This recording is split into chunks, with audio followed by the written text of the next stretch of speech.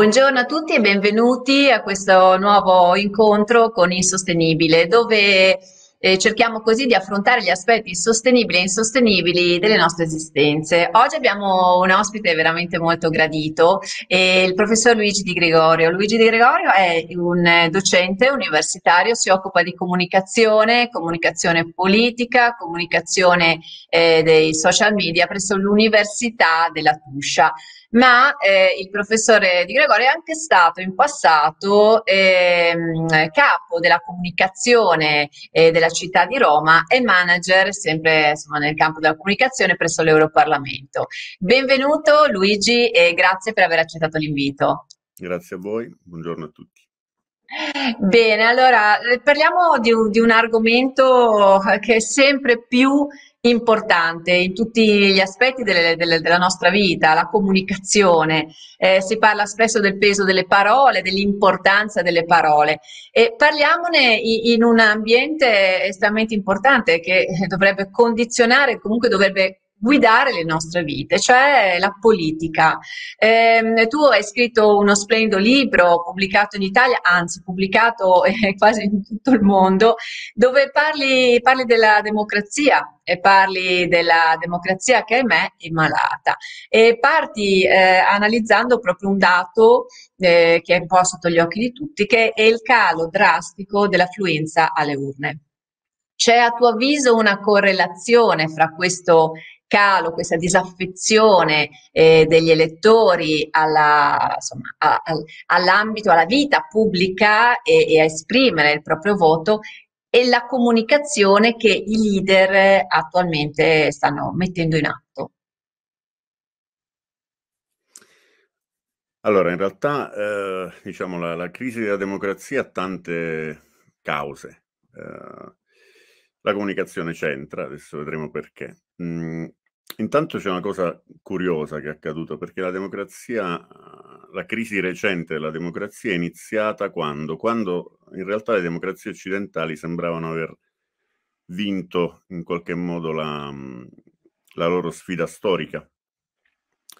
Eh, cioè, se pensiamo al periodo in cui è caduto il muro di Berlino, in quel momento alcuni autori occidentali eh, pensavano che la sfida appunto storica con i regimi non democratici fosse stata uh, vinta definitivamente. In realtà così non è stato, nel momento in cui le democrazie dovevano essere all'apice della forma, sono, uh, sono andate in crisi o comunque hanno cominciato a vivere una nuova, una nuova crisi. Eh, di che crisi si tratta? Si tratta fondamentalmente di una crisi legata al, uh, a un costante e crescente disimpegno verso la politica. Questo disimpegno, scarsa attenzione, scarsa partecipazione, appunto lo possiamo vedere in tanti modi. Un, un indicatore chiaro appunto è la partecipazione elettorale, ma ce ne sono eh, diciamo di diversi. Anche il fatto mh, che appunto la politica per farsi notare nell'ecosistema dei media di oggi è costretta appunto a spettacolarizzarsi, è costretta a operare appunto una comunicazione molto semplice, molto sintetica, spesso anche banale. E tutto questo, diciamo, ci dà l'idea del fatto che appunto nel nostro palinsesto, nella nostra dieta mediatica, così si chiama in gergo, cioè appunto tutto ciò che noi eh, guardiamo, leggiamo, ascoltiamo nell'arco di una giornata, visto che l'informazione è diventata sovrabbondante, perché questa è una grande novità di questi tempi, l'informazione storicamente è sempre stata scarsa e in mano al potere. E, e, e, quindi era fondamentalmente top down dall'alto verso il basso ed era molto filtrata da chi decideva appunto cosa comunicare a chi, a quale pubblico, eccetera. Oggi siamo appunto in uno scenario completamente diverso in cui l'informazione è sovrabbondante, addirittura ci, ci, arriva incontro con le notifiche, non le dobbiamo neanche andare a cercare ormai le informazioni. E quindi in questo scenario noi siamo ovviamente eh, sovrastati da questo diluvio informativo, da questo tsunami informativo e quindi catturare la nostra attenzione è diventata la cosa più difficile di tutte. E vale per la politica, ma vale anche per le imprese. No? Tu, diciamo, per, per qualunque prodotto della società contemporanea, che sia appunto un prodotto in vendita sul mercato o che sia un leader politico, devono avere l'abilità di catturare la nostra attenzione, che è sempre più scarsa, a, mh, mm, noi in generale dedichiamo sempre meno tempo alle cose che, che, che leggiamo, che ascoltiamo, che guardiamo e quindi la politica in qualche modo si è dovuta adeguare a questo scenario, si è mediatizzata, diciamo noi in gergo, cioè ha dovuto adottare in qualche modo le logiche dei media dominanti. I media dominanti da un po' di tempo sono la televisione, che resta un, media, un medium dominante che è chiaramente un medium incentrato sull'immagine.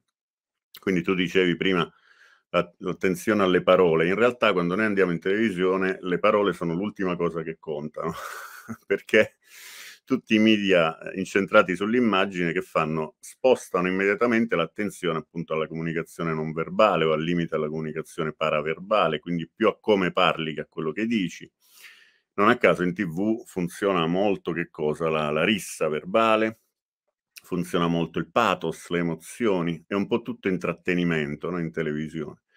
Per intrattenimento non vuol dire che devi essere bravo solo a far ridere, anzi, in tv se riesci a far piangere sei ancora più bravo, nel senso che le trasmissioni che generano appunto in generale emozioni funzionano di più.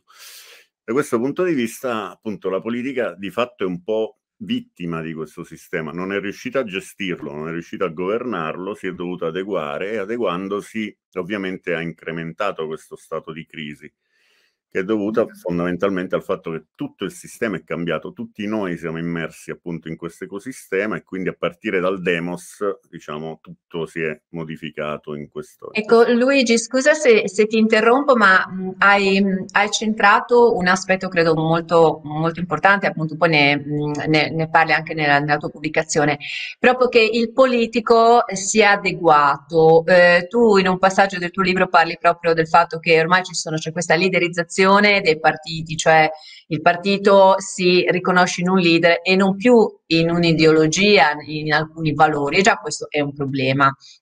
Ma poi eh, hai detto appunto, da una parte le persone non leggono più, cioè le persone ormai guardano soltanto, evidentemente quando Sartori diceva il passaggio dall'Homo sapiens all'Homo videns, ormai si guarda, si vede solo più di immagini.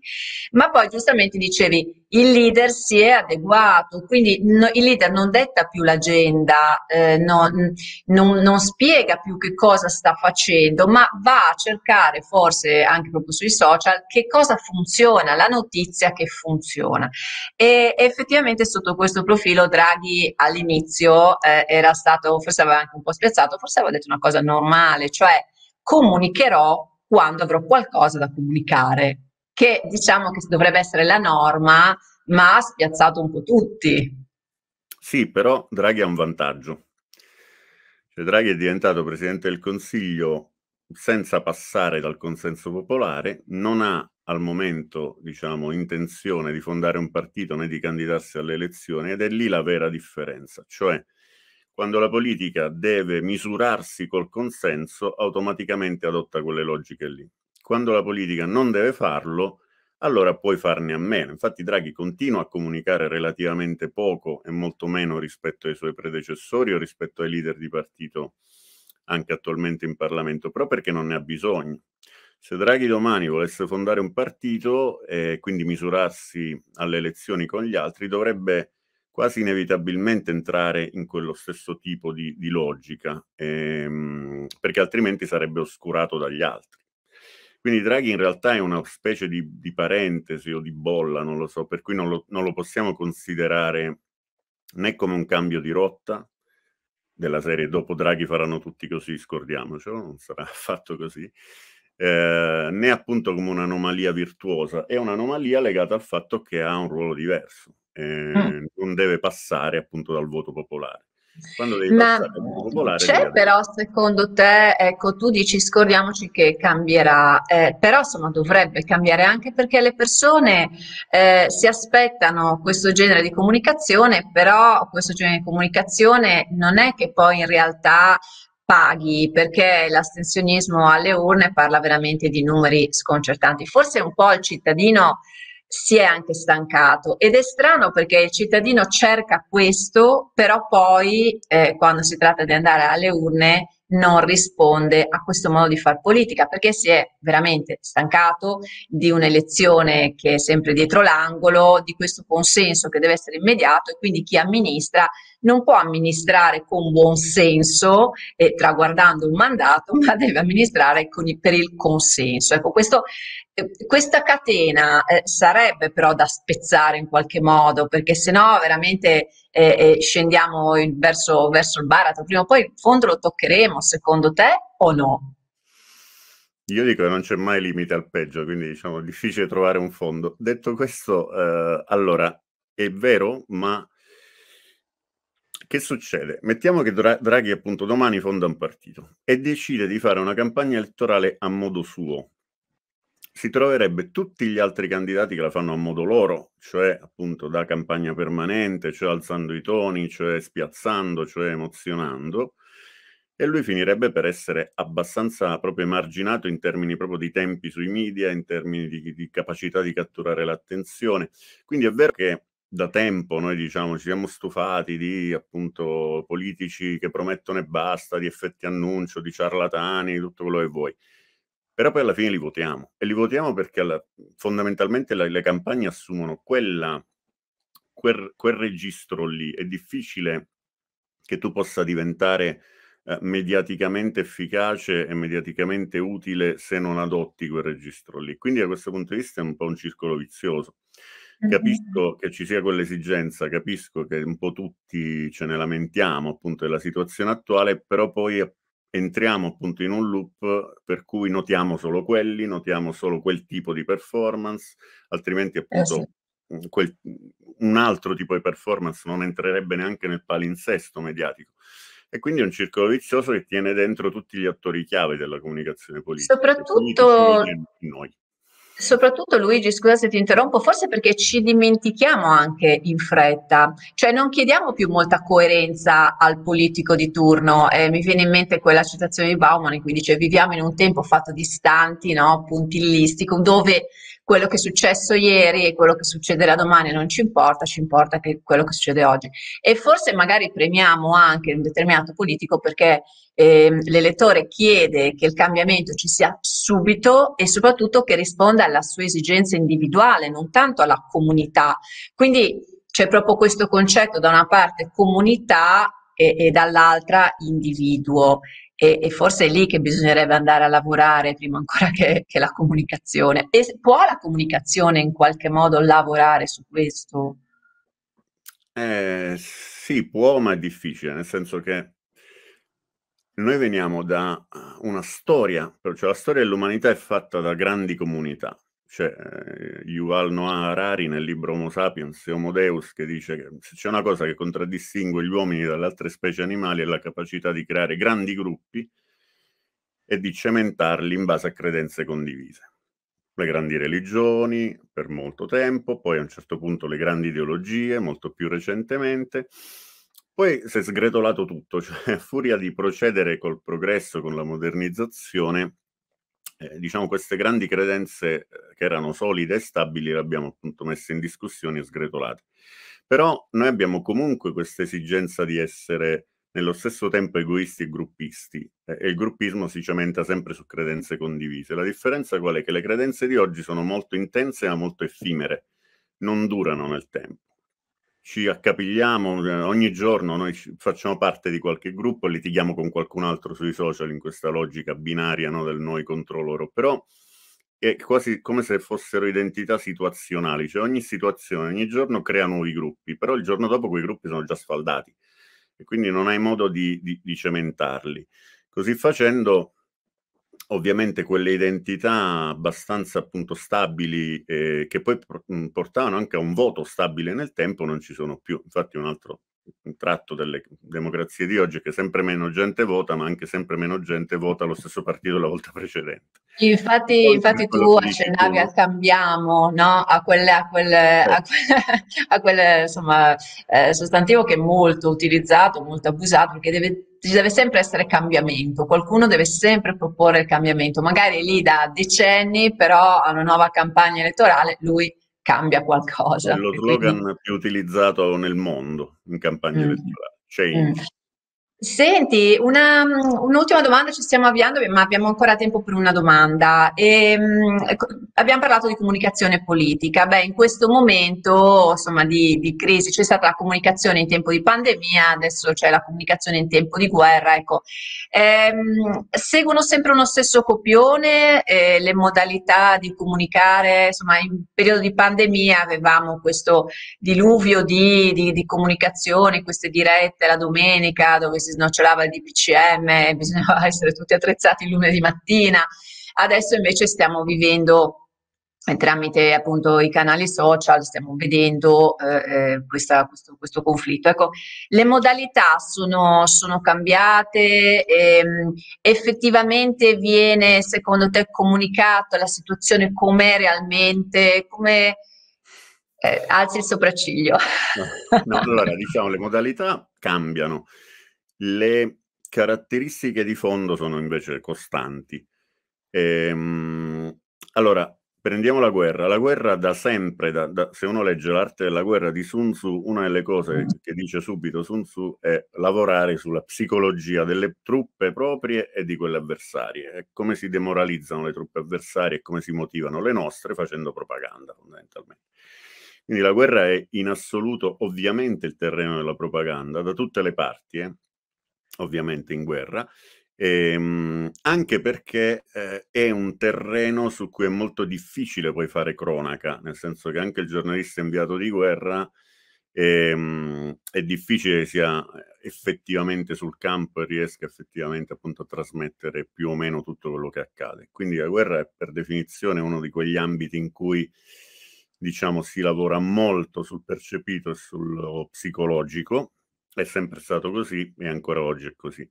Sulla pandemia quello che posso dire è che abbiamo avuto secondo me una lezione chiara della necessità di attrezzarsi in termini di comunicazione di crisi nel senso che per esempio l'Italia aveva delle ottime unità di crisi, una famosissima quella della Farnesina, ma anche appunto la protezione civile, anche mi pare il Ministero della Salute hanno delle unità di crisi, però se uno va a guardare gli organigramma di queste unità di crisi non c'è mai un responsabile della comunicazione, il che ci dice qualcosa, cioè ci dice che noi intendiamo per crisi un, un, un, un, evento, un qualcosa che scatena la crisi, e per soluzione della crisi la risoluzione di quell'evento. In realtà non è così perché eh, è molto più impattante in termini di crisi la gestione della comunicazione di quella crisi. L'abbiamo visto nella pandemia. E la comunicazione di crisi ha certe regole che vanno seguite e non sempre nel caso della pandemia, diciamo, sono state seguite né in Italia né, devo dire, neanche all'estero. Perché chiaramente i fattori psicologici aumentano, una pandemia genera una psicosi di massa a livello globale e tu devi fare i conti appunto con un pubblico che non è un pubblico in condizioni normali, quindi devi essere comunque rassicura- rassicurante, attenerti ai fatti, spiegare bene diciamo tutti i caveat e questo l'abbiamo visto non è stato fatto, in questo caso forse addirittura più dai virologi che dai politici, nel senso che forse il problema più grosso è stato trasformare in comunicatori pubblici degli esperti che sono esperti della loro disciplina, ma non sono esperti di comunicazione. Ma anche sì, magari hanno... ha funzionato, nel senso che una volta che sono finiti a decine nelle trasmissioni televisive, si sono dovuti adeguare anche loro a, quelle, a quei codici, a quei registri. Forse lì è stato esatto. l'errore. E sì, anche perché giustamente come dici te, cioè, ognuno fa il suo mestiere e cioè, un comunicatore sa eh, la notizia, eh, cioè gli arriva la notizia e sa come comunicarla, come bilanciare giustamente da una parte la rassicurazione, dall'altra insomma l'attenzione, tenere l'asticella alta. Ecco. E, ehm, abbiamo ancora proprio pochi minuti a disposizione. Desideravo concludere con te con questo. Hai parlato di propaganda, no? Insomma, la propaganda nel, nel periodo eh, bellico è, quello, è quella che si fa. Ma io se ben ricordo, già in Inghilterra, durante la, forse la, la Grande Guerra, guerra si era parlato di materia proprio scolastica, eh, di far entrare nelle scuole eh, la propaganda, proprio per poter educare i giovani ad avere uno spirito critico e a leggere un po' insomma, le notizie, le informazioni, eh, insomma, usando la testa e senza lasciarsi suggestionare troppo. Parliamo del secolo scorso, eh, adesso siamo di nuovo punto a capo. Non può essere quindi che insomma anche la, la comunicazione, le modalità di comunicazione debbano entrare come materia di studio nelle scuole, ma fin proprio già dal, dal primo ciclo scolastico, per in qualche modo avere cittadini più consapevoli, più responsabili, più cons- critici, con spirito critico. Sì, sono d'accordissimo. È la ragione per cui ho scritto Demopatia, quello diciamo, di, di far acquisire un po' più di consapevolezza su tutta una serie diciamo, di, di processi. Ma su questo la comunicazione è una materia un po' sfortunata, perché ti ricordi quando nacquero le prime facoltà di scienze della comunicazione, molti le prendevano in giro, dicevano, vabbè, ma che è questa fesseria, no? Era tutto fumo. Così come la comunicazione politica, tra i politologi era considerata, vabbè, tu ti occupi di comunicazione politica, quindi quella roba inutile che non serve a niente, che non produce niente. E in realtà non è così, è molto più impattante appunto ciò che produce la comunicazione spesso rispetto a ciò che producono le politiche. No? Napoleone diceva non conta, ciò, non conta la verità, conta ciò che la gente crede sia vero.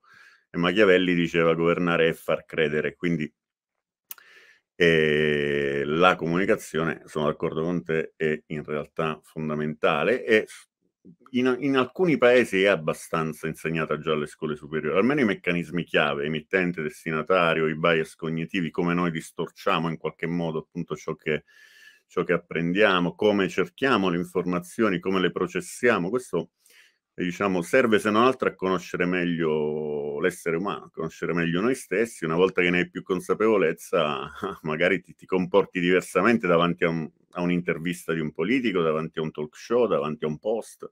Sai cosa c'è dietro, sai che lavoro c'è, mm. sai dove vuole mirare e quindi sei un po' meno disarmato, quello sì. Sì, forse, forse, Luigi, adesso purtroppo dobbiamo avviarci a conclusione, ma spero magari di averti ospite un'altra, in un'altra occasione. Forse ecco, insegnare anche alle insidie della comunicazione, perché adesso abbiamo immaginato la comunicazione, quella insomma su un'ampia platea, ma pensiamo anche alle insidie proprio della comunicazione fra due persone, come dicete, cioè, chi parla solitamente il ricevente magari non ascolta mai che cosa sta dicendo colui che parla, ma sta già pensando che cosa dovrà dire lui o come ribattere. Quindi effettivamente è, è un mondo enorme e sì, troppo, sempre mm, a cui si è dato poco credito e torno a ripetere, abbiamo aperto con il peso delle parole e direi che possiamo chiudere nuovamente dicendo che le parole hanno, hanno un loro peso, vanno soppesate, bisogna fare molta attenzione a come, come si utilizzano, forse proprio per senso di responsabilità e, e, i comunicatori ecco, hanno questa grande responsabilità. Tu ti senti questa grande responsabilità? Sì. Allora, sì, devo dire che quando faccio il consulente politico ovviamente eh, mi, mi, adeguo alle norme e cerco di sfruttarle al meglio e quindi forzo un po' questa cosa, però nello stesso tempo da docente metto sempre in guardia e cerco di dare consapevolezza a tutti. Ecco. Gioco Benissimo. Campi, in un equilibrio. Bene, Luigi, grazie, grazie mille per averci dedicato questo tempo e un saluto a tutti i nostri spettatori e arrivederci alla prossima puntata. Arrivederci. Música